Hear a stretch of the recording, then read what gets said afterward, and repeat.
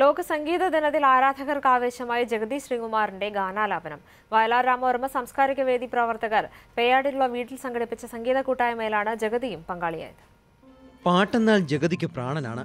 കുറെ നാളുകളായി ശരീരവും മനസ്സും പ്രതികരിക്കുന്നതേറെയും പാട്ടുകളോട് തന്നെ താളമിട്ട് തുടങ്ങിയതേയുള്ളൂ. പാട്ടിൽ ലയിച്ചുപോയി പ്രിയ നടൻ.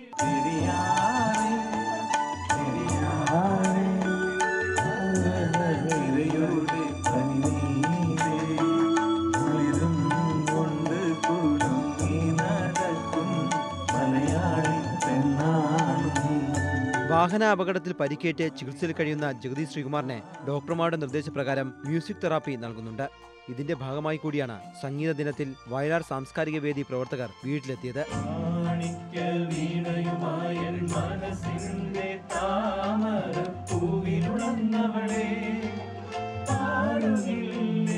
വലിയ കരഘോഷങ്ങളോടെയും അതിലേറെ പ്രതീക്ഷയോടെയുമാണ് പ്രിയ നടന്റെ തിരിച്ചുവരവ് ആരാധകർ ആഘോഷമാക്കുന്നത്.